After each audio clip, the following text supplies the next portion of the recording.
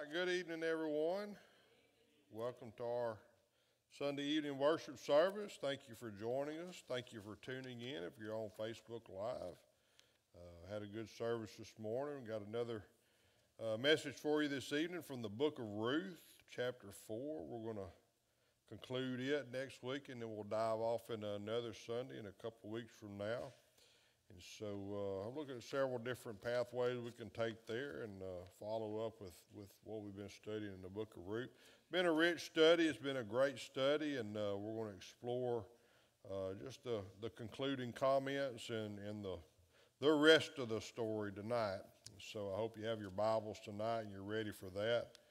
Uh, several events coming up this week. Uh, the Aspire Women's event. This is your last evening to get uh, your money's in for that if you're looking to go for it. Don't forget, we're having uh, the Lord's Supper next Sunday during our Sunday morning service. And so uh, all of that information is in the bulletin, should be on the website. Uh, all the other events that we got going on. Hey, if you are tuning in through social media, we want to thank you so much for joining us. I don't I don't usually do this, but I want to acknowledge our social media crowd. I know we got some faithful followers there, and uh, we appreciate your support. It, and I always encourage people that are here to, to take the invitations that we have prepared and uh, invite their neighbors and their friends. And there's something you can do to help us as well. If you're tuning in through uh, Facebook Live or tuning in through our website, share that with the people that you know. Like our posts and then share our posts so others will see. That'll expand our social media platform. Uh, also, for those of you here and for those of you tuning in, pray for our social media platform as well. Hey, look, if we truly believe that the Word of God is the Word of God, God says in His Word that so shall my word be that goes forth from my mouth. It will not return void. That's whether it's preached or recorded live or recorded and listened to through social media uh, God's word will go out and accomplish in whatever means, in whatever ways that we can promote it. So be praying for that social media platform and the people that are tuning into our website that their hearts would be reached, their lives would be changed, and uh, we will continue to grow through that. So that's just a couple of different ways that you can help us. Uh, VBS is coming up. Those posts are out. We'll be refreshing those every couple of weeks. Uh, when you see one of those, make sure you share it as well so that message will get out. Uh, they can go live to our website and they can register online there, or they can come by the office and pick up a registration form, uh, fill it out, return it in. We'll get their kids registered. I think the invitations to ones that normally come to VBS have already been mailed out, or they will be in the near future. So uh, all that information is going out. Uh, WinShape camps, uh, several other training events coming up. We will have a training event here at our church in June. Uh, that'll be one month out from the camp. It is uh, later on in July when the camp actually takes place, the 24th through the 29th of July. And it will be over at the Municipal Auditorium. We're teaming up with several other churches here in the Morgan City area. Uh, Morgan City is one of five cities throughout the state of Louisiana uh, that this camp is going to be um, presented at. Uh, the owner of Chick fil A, Truett Cathy, uh, he has founded these camps and uh, the city is supporting it. Uh, we're looking for sponsors to help out with scholarships, snacks, and so forth, and I'll be getting that information to you as we go along and get closer to camp time. But the flyers for it uh, are out in the foyer as well. If you're looking to help out with a scholarship or sponsorship, let me know, and I'll let you know how you can be involved in that as well. Let's get started with our worship service tonight with a word of prayer. Father God, we thank you so much uh, for all that you're doing, uh, both here and throughout the world, Lord God. For some people, it seems like uh, things are falling apart, but for those of us who believe, we know that everything is falling into place. And uh, we just thank you, Lord God, that you've allowed us to be a part of that plan. And as we move about our day to day adventures, Lord God, and the things that we do on a regular basis, help us to be mindful of people who are looking for answers. Uh, Lord, we know what this world is coming to, and we also know what this world is not coming to, and that they're not coming to Jesus. And so help us to point them to the one true hope uh, that they have in Jesus Christ. The answer to all of their problems. And uh, we just pray for tonight, Lord God, as we open up your word. I pray that you'll open up our minds and our hearts as we look at uh, the kinsman redeemer and Boaz and uh, how he relates to you as our true redeemer uh, of our heart and our soul and our salvation. We just turn this service over to you, Lord God. We praise you in advance for what you're going to do and how you're going to speak to us and speak through us. We just ask it all in Jesus' name. Amen.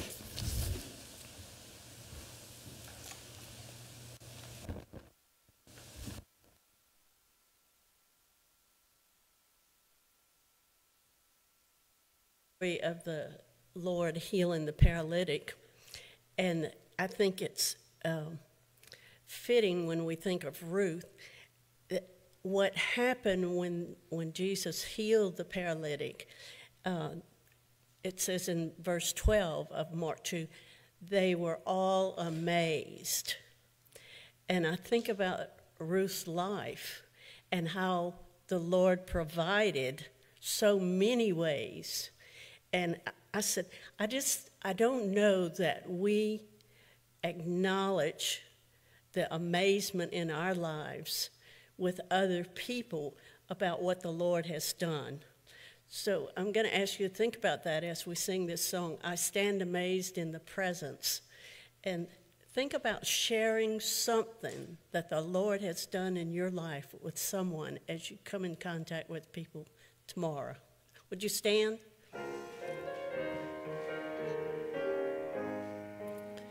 I stand amazed in the presence of Jesus the Nazarene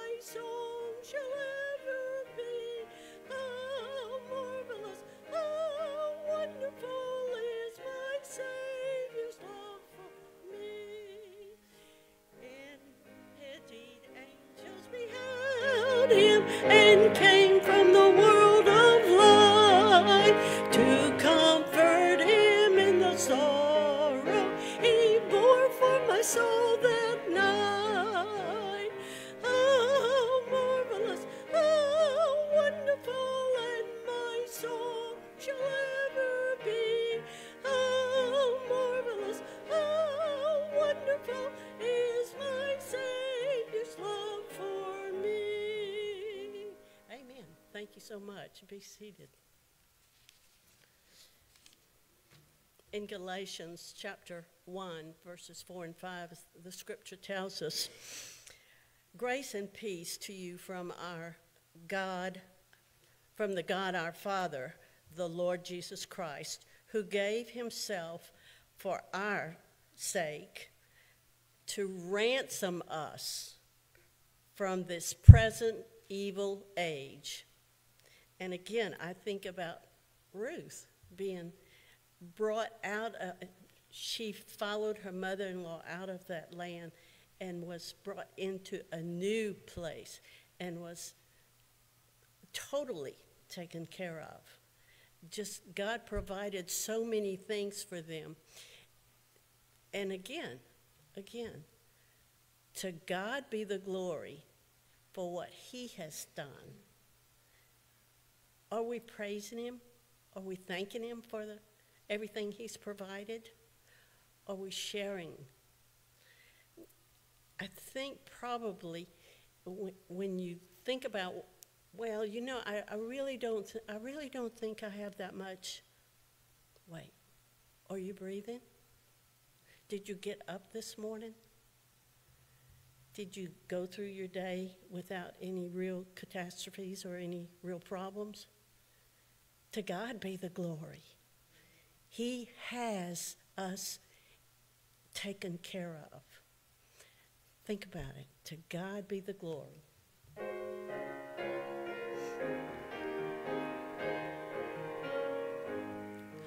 To God.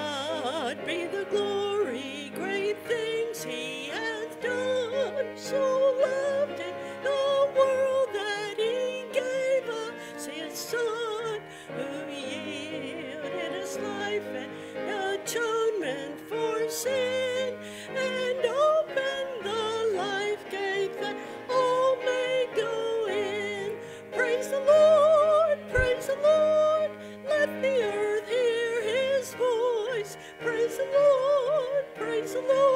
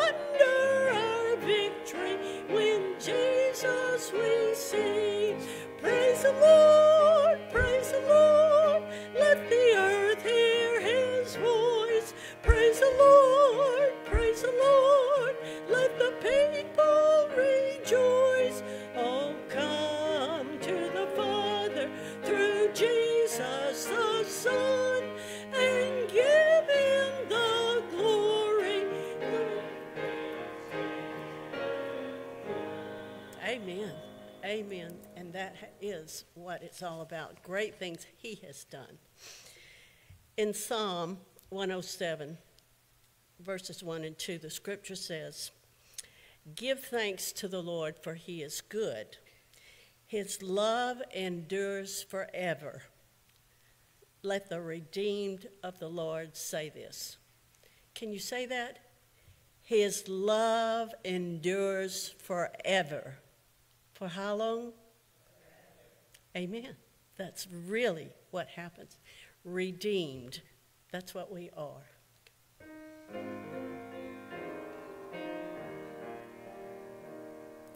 Redeemed, how I love to proclaim it. Redeemed by the blood of the Lamb. Redeemed through his infinite mercy, his child and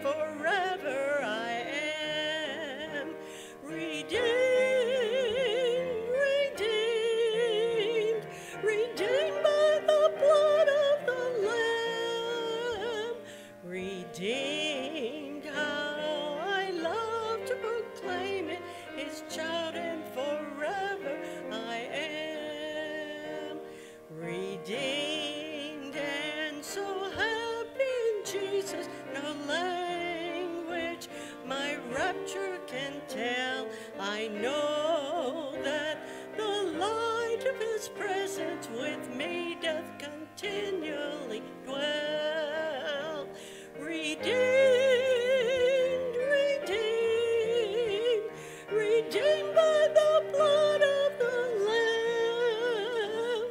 Redeemed, how I love to proclaim it, his child and forever I am. I think I think of him all the day long. I sing for I cannot be silent. His love is the theme of my song.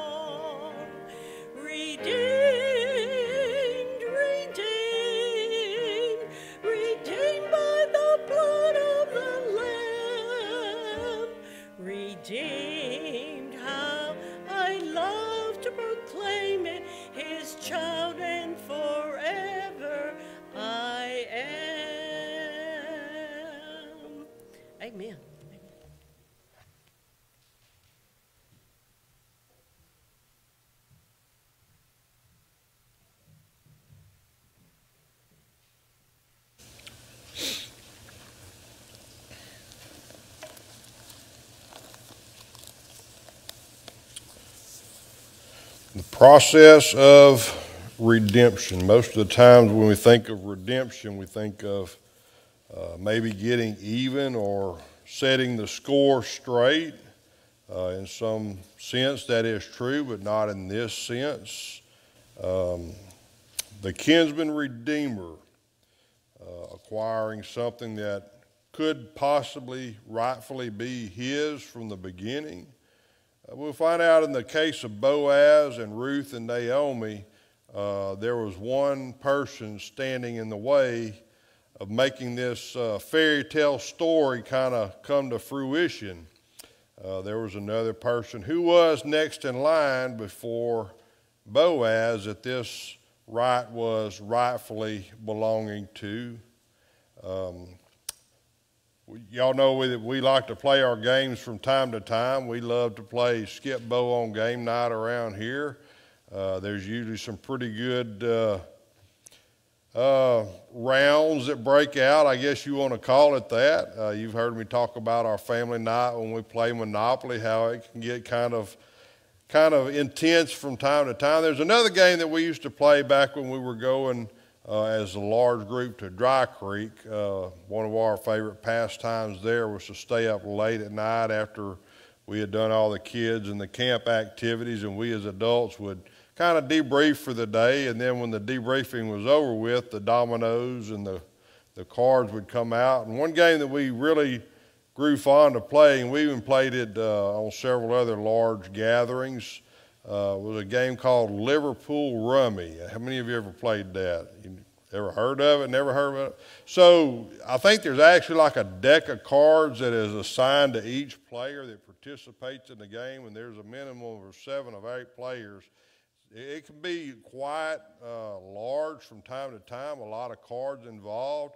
Uh, I actually seen the group that we play with, they have these little spring-loaded plastic clips that you can put your cards in and it spreads out like a big fan and it's almost like you got this, this whole handful of cards by the time the, the game is over with. So there's a different set that you have to try to acquire for each hand. It's not the same from hand to hand. One, one set you might have to have uh, three of a kind. One set you might have to have four of a kind. One set you might have to have a run of six. Some of them you might have to have certain cards for certain times, so it varies from time to time. You got to keep up with the rotation as it goes. But as the game progresses around the table, when the person says, I can no longer play, and they discard theirs, that's when the excitement begins because it could just be that this card that they're discarding is something that somebody around the table need. And it could be something that multiple people need to complete their set. So if you have two or three people that's trying to complete the exact same set, that's going to be the hot item when it hits the table. However, that card rightfully belongs to the person who's next in turn. And so that was my catchphrase when I began playing the game because a lot of people, boy, they'd slap that card. That's mine. I want it. I need it. And I'd say, uh-uh, that, that is rightfully mine because I'm next in turn. You'll get your turn in just a minute. If I don't need it, then it becomes yours. And so that was kind of the catchphrase of mine as we began playing that. And they started picking at me because, uh-uh, that's rightfully Tracey's. Don't take his card. It's not your turn. You can't have that one.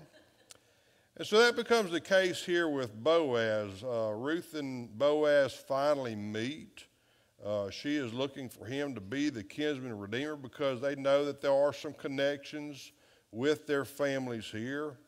But Boaz, being the statesman that he is, wants to do things according to the law. We've shared the law of how the, the kinsman redeemer was set up to carry on the lineage of someone whose husband is possibly deceased how that could be uh, continued on through the family line. And so that's what happens in this case. Boaz says, There may be another one. He says, Let me check and make sure. And sure enough, there is someone that they have to approach. And so then, once they get over that obstacle, the kinsman redeemer can make the purchase of land required for that to continue on. So, as we pick up the story in chapter 4, we're going to go verses 1 through 12, and we'll wrap it up uh, next week. But before we begin, let's look back at the statement that Naomi made uh, to Ruth back in chapter 3, verse 1. Let's talk about, you know, what was Naomi's intention for Ruth? Why was she trying to set up this match made in heaven? Is literally what it was because God was orchestrating this whole scenario to preserve the lineage of the Lord Jesus Christ. Ultimately, we see that in a couple of the different Gospels when we look at the genealogy of Jesus. These two names are mentioned in his lineage, in his genealogy. So, what was Naomi trying to do? Verse, uh, chapter 3, verse 1 says that then Naomi, her mother in law, said to her, My daughter, shall I not seek security for you that it may be well with you. So Naomi was doing more than just trying to set her up with Boaz uh, as a husband to be. Uh, there was a lot more to it than that. As her mother in law, she was trying to provide her with security. Ruth being a Moabite, Naomi being a Israelite, and Boaz being an Israelite, Naomi was trying to provide for Ruth a permanent home and to become an Israelite as well, and become a follower of the Lord Jesus Christ and be a uh, follower of God. Because that was one thing that Ruth said. He said. She said, Wherever you go, that's where I'll go. Your home will be my home, and your God will be my God. And so Naomi was trying to preserve for Ruth a permanent home now that her husband Naomi's son had passed away. So, with that as well, Naomi was trying to provide for Ruth a future. Maybe Naomi sensed that her days on the earth were coming to a close, and she said, After I'm gone, I want to make sure that not just your family, but you as well can continue on uh, with this security and with this permanent home. Perhaps Naomi was trying to provide for Ruth a peace of mind because Ruth was constantly worried about how am I going to provide for myself? How am I going to provide for my mother in law in this land that we really don't fit, uh, fit in as widows? We don't have that many rights as widows. So maybe Naomi, Naomi was trying to give Ruth a peace of mind through all of this as well. So Naomi was also trying to provide for her an inheritance. She was trying to provide for Ruth an inheritance that she no longer had because not only had her husband passed away, but her father in law had passed away. She had no relatives basically right there except for her relatives back in the land of Moab. She was also trying to provide for Ruth relief from her poverty. Boaz was not a poor man. He was a wealthy man. He was a landowner. He had crops. He had servants.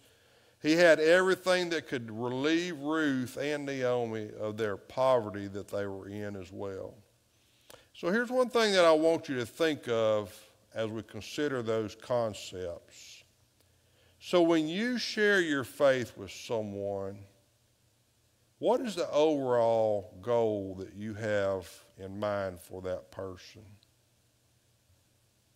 What is it that you're trying to provide for them when you share your faith? What is it that you have in mind? You say, I, I want this to happen in this person's life. What, are, what is your objective when you begin to share your faith? Are, are you trying to provide them with simply a place to attend church?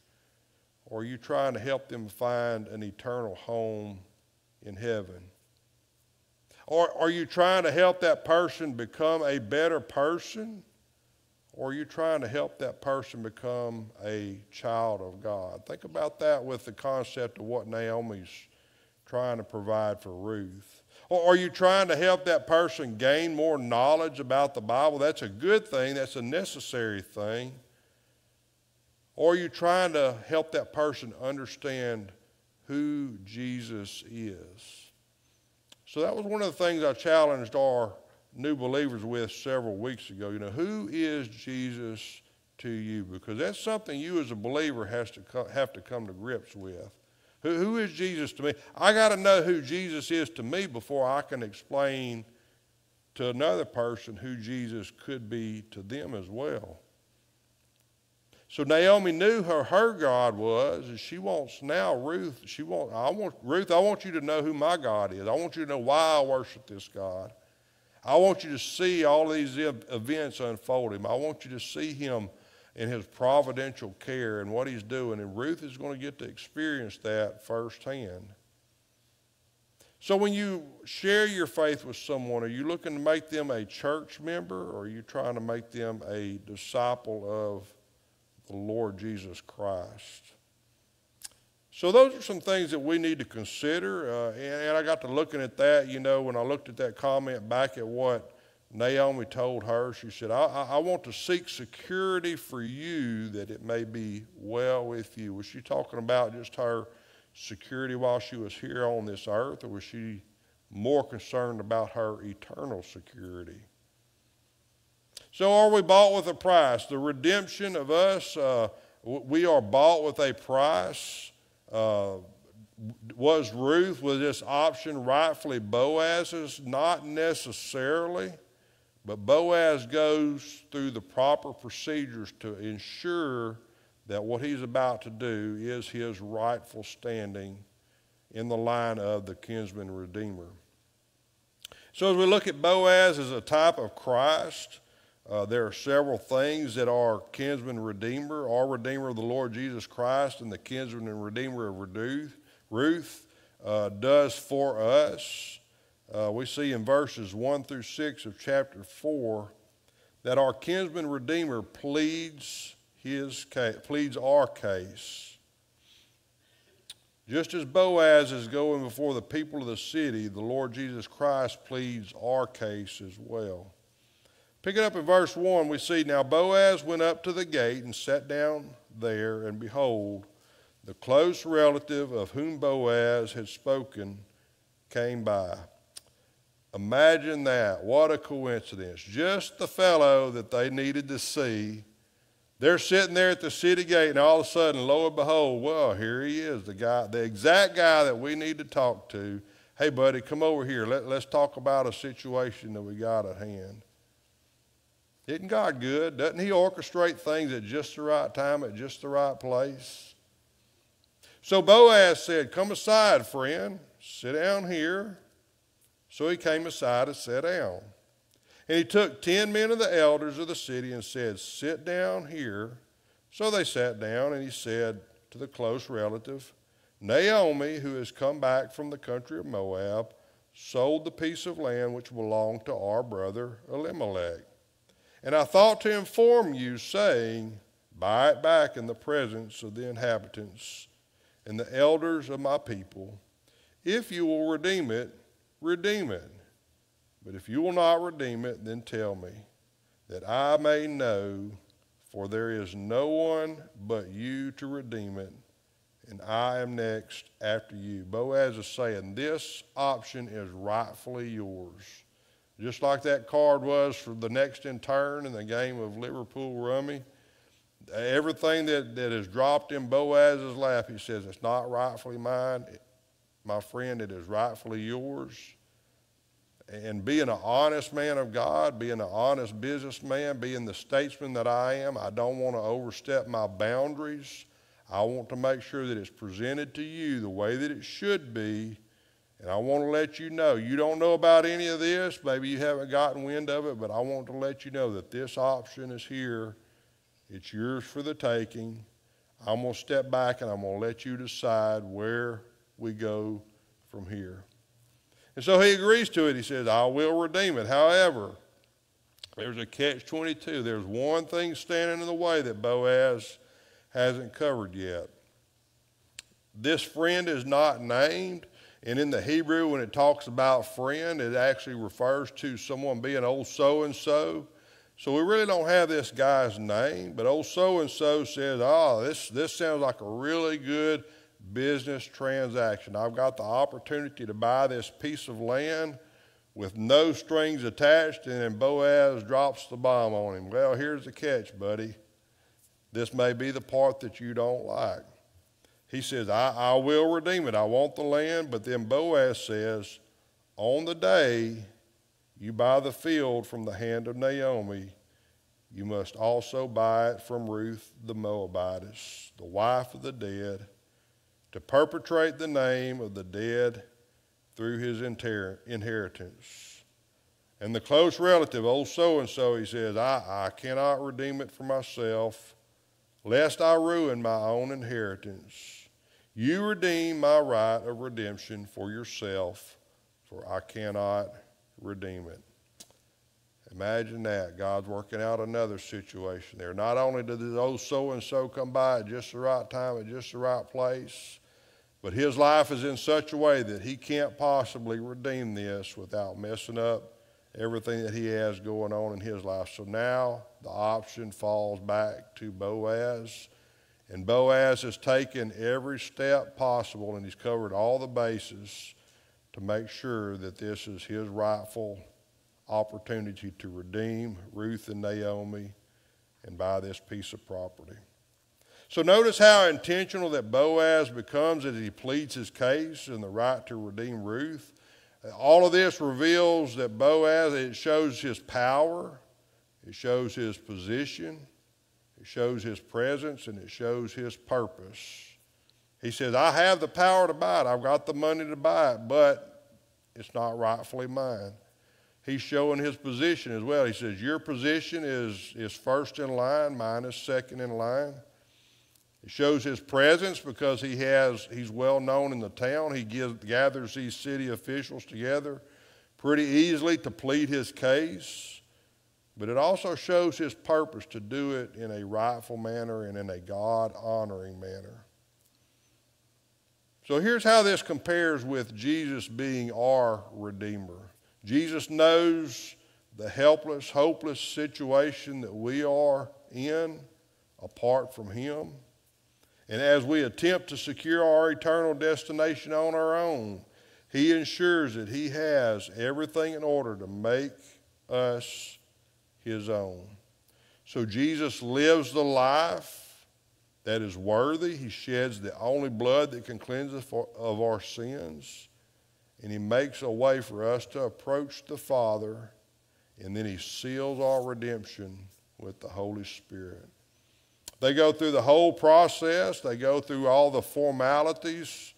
Boaz and old so and so, that they go through everything that they need to to cover this situation. So write this down in, the, in your margin or on your notes if you're using the outline. Uh, Romans chapter 8, verses 31. When we think about our redemption, when we think about uh, how Jesus pleads for our case, Romans chapter 8, verses 31 through 35 says, What shall we say to these things? If God is for us, who can be against us? He who did not spare his own son, but delivered him up for us all, how shall he not with him also freely give us all things? Who shall bring a charge against God's elect? It's God who justifies. Who is he who condemns? It is Christ who died and furthermore is risen, who is even at the right hand of God, who makes intercession for us. He's pleading our case right now. And even before you surrendered your life to the Lord Jesus Christ, even before you were redeemed, Jesus was saying, That one is mine. That one is rightfully mine, and that's the one that I want to give an inheritance to. He makes intercession for us, just like Boaz was making intercession for Ruth and Naomi to properly redeem them, he goes before the city officials, he pleads his case, and he intercedes on their behalf. And that's what God, uh, that's what Jesus does for us. He's at the right hand of the Father. He says, Father, this one's mine. I've earned the right to redeem this person. I've shed my blood. I've gone through all the proper procedures. And now I want to make sure that they have an inheritance that is incorruptible, undefiled, that fades not away. Write down this verse, Hebrews chapter 7. You can turn there if you're quick enough, but write, make sure you write it down. Hebrews 7 23 through 25. And there are, uh, and also there were many priests because they were prevented by death from continuing. But he, because he continues forever, has an unchangeable priesthood.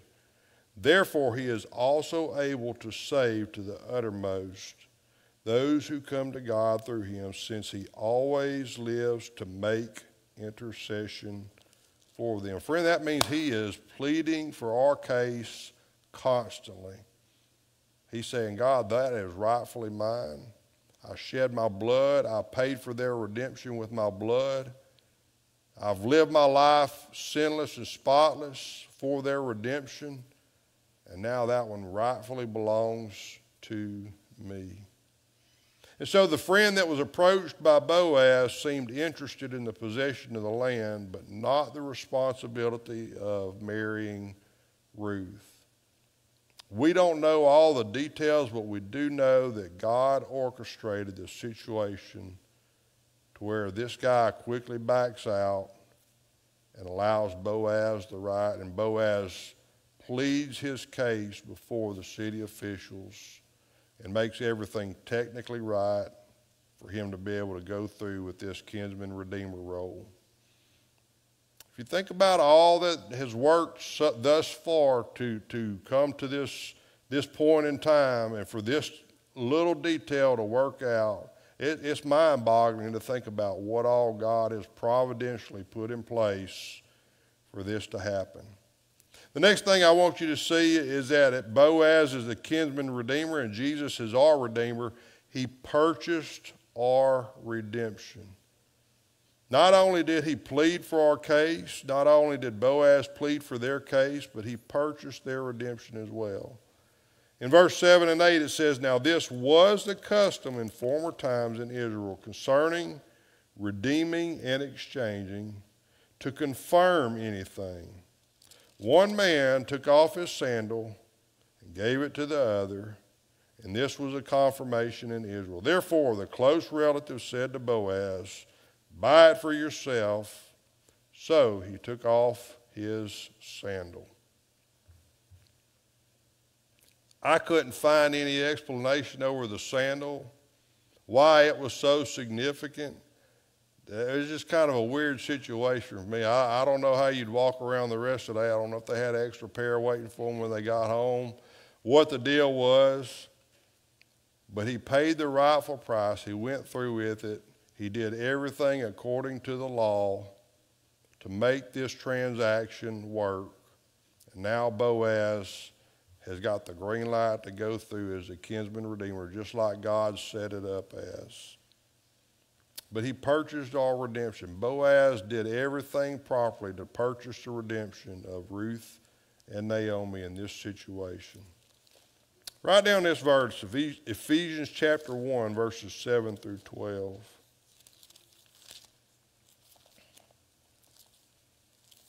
We're going to look at a lot of different scriptures that, that go along with this.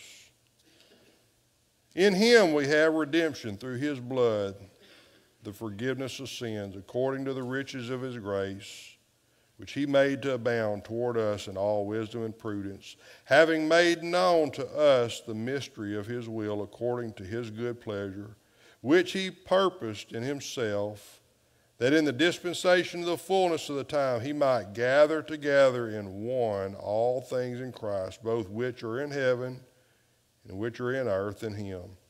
In him also we have obtained an inheritance, being predestined according to the purpose of him who works all things according to the counsel of his will that we who first trusted in Christ should be to the praise of his glory.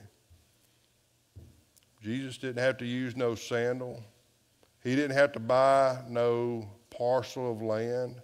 He didn't have to pay money. He paid with his blood.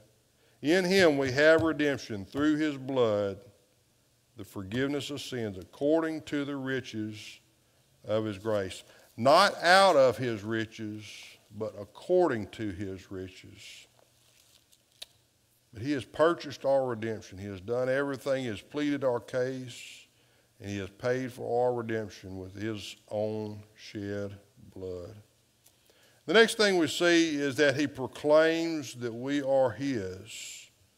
Not only did Boaz plead his case before the city official and the actual next of kin, not only did he purchase their redemption, but he also proclaimed that these are now his. In verse number 9, it says that Boaz said to the elders and all the people, You are witnesses this day that I have bought all that was Elimelech's and all that was Chilion's and Mahlon's from the hand of Naomi. He proclaimed, he said, I did it. I, I purchased it. I bought it. This is what I wanted. This is what I wanted to happen from the beginning. And now you're witnesses. This day I'm proclaiming to you that I have bought everything that was necessary to become the kinsman redeemer for Ruth and Naomi. And so he proclaimed it publicly. He didn't try to hide it, he didn't try to cover it up, he didn't try to be sneaky about it. But he made it open and public before everyone around to make sure that everyone knew that I'm going through with this transaction. So that's why Jesus Christ died on the cross. He died a public death. That's why he took a, took a beating in the open. That's why they had an open trial before Pontius Pilate. He says, I'm not going to do anything undercover. I'm not going to do anything in secret, but I'm going to do it publicly and openly. I'm going to let everybody know I'm dying for the sins of mankind, just like my Father sent me to do, just like I predicted I was going to do. And he proclaimed openly and publicly, I'm redeeming the sins of mankind with my shed blood. So, as we think about that, why, why do we promote a public invitation at the end of the service? Why do we call people forward to say, if you want to make a decision to follow Christ, we want you to make it publicly and openly. We, we do baptisms to where everybody will know publicly and openly that this person has become a follower of the Lord Jesus Christ. Not only is it a means of identification and fulfilling the Great Commission, but it also publicly professes that we belong to the Lord Jesus Christ. In the same way that Boaz publicly proclaimed, Hey, I, I, am now their kinsman redeemer, the Lord Jesus Christ did everything openly and publicly. We as believers are to do everything openly and publicly as well. Matthew chapter 10, verses 32 through 33, Jesus says, Whosoever shall confess me before men, him will I also confess before my Father which is in heaven which is what Boaz is doing for Ruth and Naomi here. He said, I'm, I'm confessing publicly that I'm now interceding for them, and I'm stepping in as their kinsman redeemer. Jesus said, Whosoever shall confess me before men, him will I also confess before my Father which is in heaven. But whoever shall deny me before men, him will I also deny before my Father which is in heaven. So not only does our kinsman redeemer, not only does our redeemer plead for our case, not only has he purchased our redemption, not only does he proclaim that we are his, but through all that, he preserves our prosperity. He preserves our prosperity. I'm not a prosperity preacher. Y'all know me better than that. That's not what I'm saying here. I'm talking about eternal riches and eternal rewards. I'm talking about an inheritance that's incorruptible and undefiled that fadeth not. It's not about material possessions at all. And I think for Boaz, it wasn't anything at all about the land. But he says, I want to step in and do something for these people that nobody else can do. I want to be obedient to the Lord. And I think Naomi was saying the same thing about the mother in law situation and being mother in law to Ruth. She said, I want to do something that's going to make an eternal impact for her that money can't buy. Boaz was trying to preserve the prosperity of their family lineage. Boaz had to purchase the land to secure Ruth's prosperity. He wasn't interested in more land. He had plenty of land. He had plenty of money. He had servants. He was interested in the well being of Ruth. He could have most likely bought land any time that he wanted to from anyone that he wanted to. What he saw was a family in need and that they and what they could add to God's kingdom. And that added more benefit to his life and to their life as well. So Jesus is more interested in your soul than he is anything else. He's not worried about your possessions. He's not worried about your gifts, your talents. He can build his kingdom any way he wants to. He can build his church any way he wants to. He's more interested in your soul than he is anything else. He's more interested in your prosperity through all eternity and gaining riches that are incorruptible, that this world can't corrupt. Jesus is especially more interested in what you can add to his kingdom Anything that you can add to his kingdom, it's just a little bit extra for him. It's what we call lagniappe. It's an extra added benefit. The bottom line is that we are his prized possession. That's why he has redeemed us. That's why he has pleaded for our case. That's why he's purchased our redemption. Because he wants to preserve our prosperity as a child of God and He wants to give us riches that we just don't fully comprehend. 1 Peter chapter 2 verse 9 says this it says you are a chosen generation a royal priesthood a holy nation you are his own special people that you may proclaim the praises of him who called you out of darkness and into his marvelous light who were once not a people, but are now a people of God, who had not obtained mercy, but now have obtained mercy. That's the prosperity that God wants us to have. He wants us to have His riches in mercy,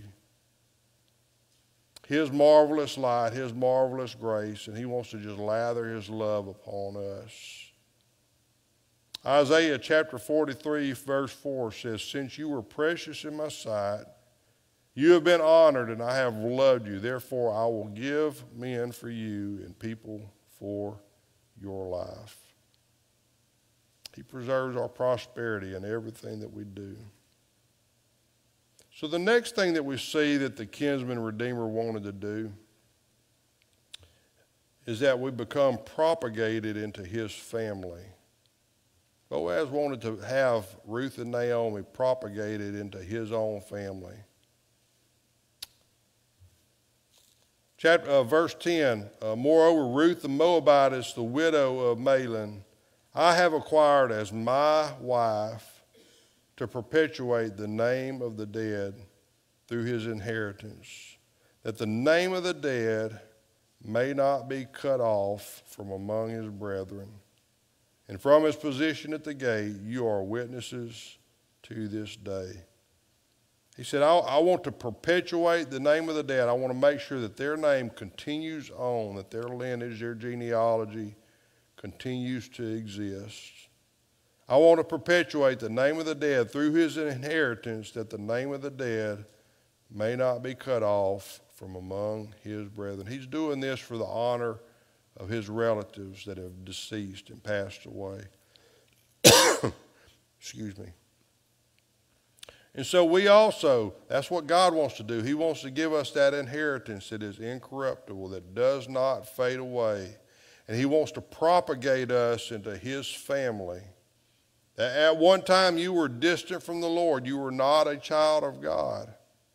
You were at enmity with God.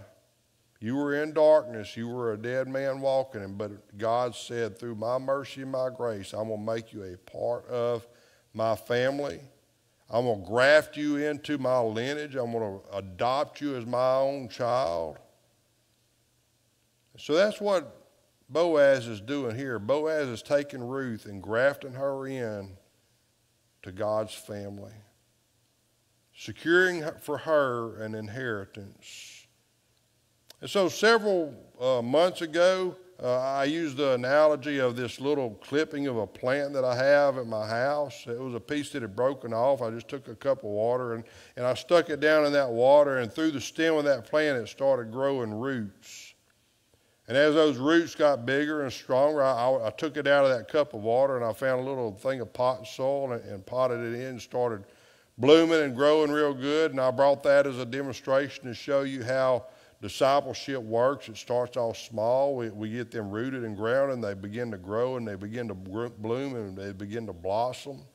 I, I, basically, what I did was I propagated that plant. I found a way to take a piece off of that plant and help it to begin to grow on its own as well. And so now that plant, man, if you come to my house, it's sitting by the front door. That, that, that, thing is about this big around. I've taken a couple of other clippings of it and propagated it as well. But basically, what I've done is from one plant, I've started a whole new plant that's growing. It's beautiful. And I've had several people say, hey, man, I'm going to slip over there and cut a piece of that plant off because I want to. I said, I'll just give you one. Don't worry about taking it. And there's several other people who I've allowed to propagate this plant and begin growing on their own. So those of you who, who know anything about trees and plants and growing stuff know that there are several different methods of propagation. You can start off with a seed. Uh, you can find a bloom or a flower that has seeds off of it. You can start another plant. You can propagate another plant like that. You can use the cutting method that I talked about just a moment ago. Or you can actually graft it into another plant. You can take the root stock of one tree and a clipping off another one and put the two of them together and graft it. So basically, that's what Boaz is doing with Ruth. She's saying, Ruth, I want you to be grafted into God's family. And as your kinsman redeemer, I'm going to graft you into the lineage of my family and we're going to see that family tree begin to grow. Now, whether they knew the Messiah was going to come from that grafting or that genealogy, I don't know. I don't know what God revealed to them. Israel is often known as the olive tree. It's referred to as the olive tree. And so in Romans chapter 11, Paul explains this technique of grafting and how the Gentiles, which the Moabites were, have been grafted into God's family. Romans chapter 11, this will be the last passage that we'll refer back to. Romans chapter 11, beginning in verse 19. You will say then, branches were broken off that I may be grafted in. Well said, because of unbelief they were broken off, and you stand by faith. Do not be haughty, but fear, for if God did not spare the natural branches, he may not spare you either. Therefore, consider the goodness and the severity of God. On those who fell, severity, but toward you, goodness.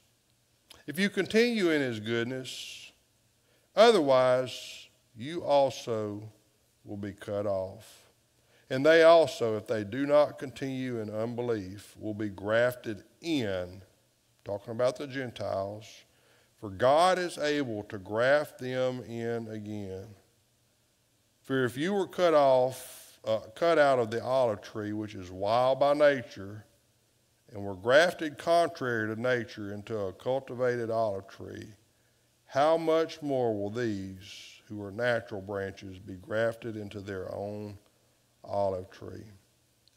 So basically, that's what Boaz is doing with Naomi. She said, he said, Naomi, uh, Ruth, you've been broken off.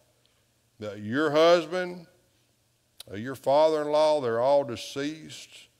But what I want to do is I want to take you and I want to graft you into my family. I want to graft you into God's family. And that's what Naomi's intention was. She said, I want to provide for you a security. And that's what Ruth's desire was too. She says, I want your God to be my God. I want your land to be my land. I want your family to be my family. And that's what this whole situation is about is Ruth coming into a place where she really had no right or no place being, and these people welcoming her in and showing her the love of God in practical ways. And she became propagated into his family. And if you think about us, when we are born with a sinful nature, we have absolutely no right to be in God's family. And that's where, our, where Jesus steps in as our Redeemer. He says, I'm going to make every provision possible for you to become a child of God. Joint heirs with Christ is what we are. And so now, every right and privilege that the Lord Jesus Christ has, He has redeemed us and allowed us to take part in those provisions as well. Isn't God good? Isn't it amazing the way He works those things out? And isn't this story amazing the way He has orchestrated this whole situation?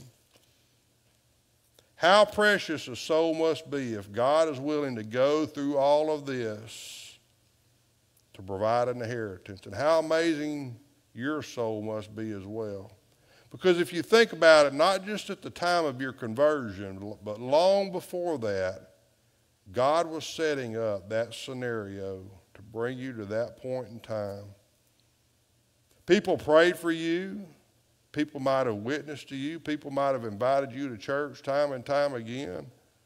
Mom or grandma might have drug you to church time and time again. God was orchestrating all of that. And look at all that Ruth and Naomi went through. 10 plus years of wandering around, providing for their own, not knowing where they were going to go, not knowing how it was going to end up, but all in all, God was orchestrating the situation for Ruth to come in and to become a part of this family and become a part of the, the nation of Israel and to become a part of the genealogy of the Lord Jesus Christ how costly it was for Christ to purchase our redemption to make us his bride. We, the church, we are the bride of Christ that was purchased with the blood of the Lord Jesus Christ. Charles Spurgeon said it best like this How precious a soul must be when both God and the devil are after it. So, all of this story uh, all of this that God has orchestrated in this story was not for us just to have a, a love story. It's here for a purpose. It was to preserve the lineage of the Lord Jesus Christ and to ensure that everything was in order for our salvation. Now, if God had you and me in mind that long ago, because He was thinking about us when this story happened, He said, I've got to find a way to make sure that the Savior comes from this lineage. I've got to get these two together to make this happen. And I'm doing it for the souls of mankind that aren't even born yet. If God had you and me in mind that long ago, don't you think He's interested in the details of our lives today? And if He can work out the details for all of this to take place, then working out the details in your lives is no problem whatsoever. Father God, we love you so much, and uh, we just thank you that we are bought with a price. We thank you for that precious blood of the Lord Jesus Christ, and we thank you for the way that you orchestrate all of the details of our life, Lord God. God, I, I think about what you have done just in my life alone, and I know that there are stories probably much more complicated, much more greater than mine. But Lord, as we look at just these four chapters in the life of Ruth and Naomi and, and Boaz and what all you worked out there, Lord God, how, compre- how mind boggling it is the details that you work out in our lives each and every day. Well, we, we don't know what you're working on right now. We don't know what's going to happen in the next day or two in our lives. We don't know what situation we may find our life in a week from now or a year from now, but you do. And we can rest each night knowing that as your beloved, as your bride, as your precious possession, as your prized possession, Lord God, you care about everything that goes on in our life. I, I thank you, Lord God, that you've propagated us into your family. You've allowed us to become children of God. I thank you that you've allowed us to let the name of Jesus Christ be known in our community. And I pray, Lord God, that as we consider the fact that we have been redeemed, we've been set free, we've been bought with a price, that we'll make that investment worthwhile, Lord God.